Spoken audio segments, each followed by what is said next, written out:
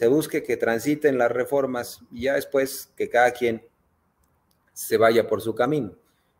Y desde mi punto de vista, lo más factible es que Monreal eh, se vaya de Morena. ¿Por qué?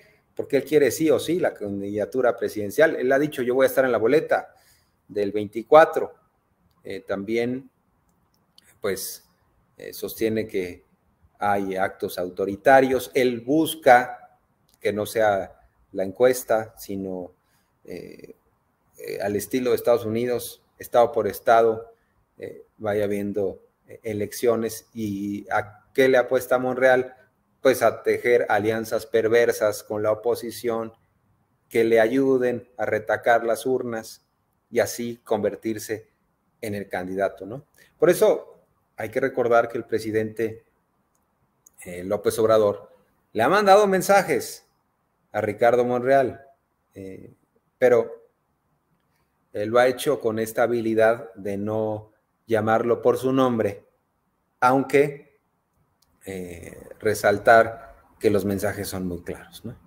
Entonces, eh, por ejemplo, hay que recordar algunos momentos de la mañanera.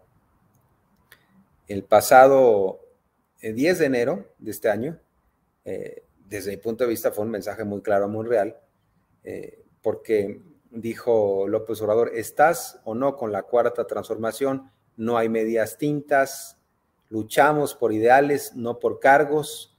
No somos ambiciosos vulgares. A ver, vamos a recordar esto. Vale la pena. Para nadie. Vamos a recordar esto porque incluso la pregunta que le hicieron fue sobre el tema y se la hizo el reportero de Reforma. Le hizo eh, una pregunta sobre declaraciones de Monreal.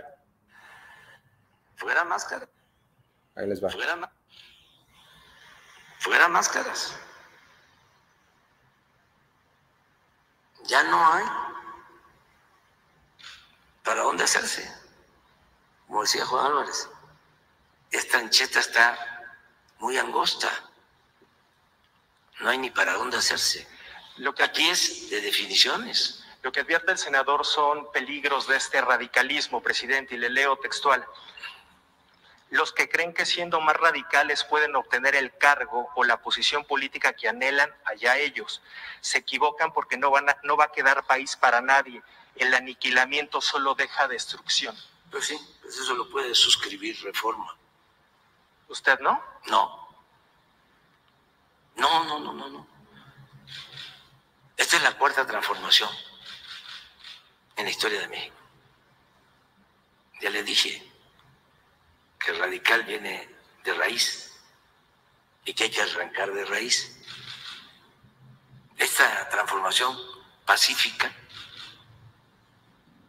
sin violencia, es igual de profunda que como lo fue la independencia o la reforma o la revolución. Entonces no llegamos aquí para simular no es más de lo mismo. Y la verdad que no engañamos a nadie, ¿eh? porque si ustedes eh, revisan lo que he dicho durante años, lo que he escrito, es lo que estamos haciendo.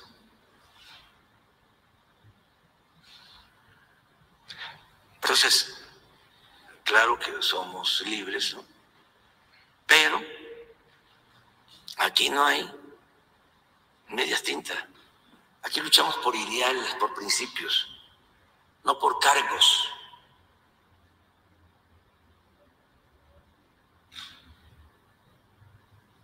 No somos ambiciosos vulgares. Y por último sobre ese, por último sobre ese. No somos ambiciosos vulgares.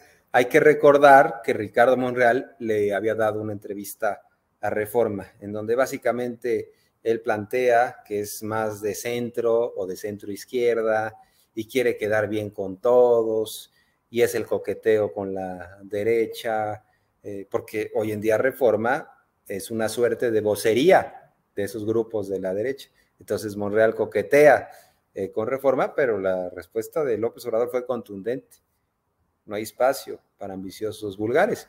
Dijo, eso lo puede suscribir Reforma, bien por los de Reforma que consiguieron esas palabras de Monreal y además le dan primera plana, pero nosotros tenemos eh, convicciones firmes y sabemos de la importancia de la cuarta transformación. Bueno, eh, así el tema de Monreal por ahora, que tiene la actualización en este sábado, donde reaparece en Veracruz otra vez lanzándose contra el gobernador morenista Huitlahua García, otra vez dándole a los opositores esta oportunidad de que digan, ya ven, hasta los morenistas como Ricardo Monreal aseguran que es autoritario, ya, nada más, eh, pues pase par de años y hagamos un frente en contra de este autoritario, ¿no?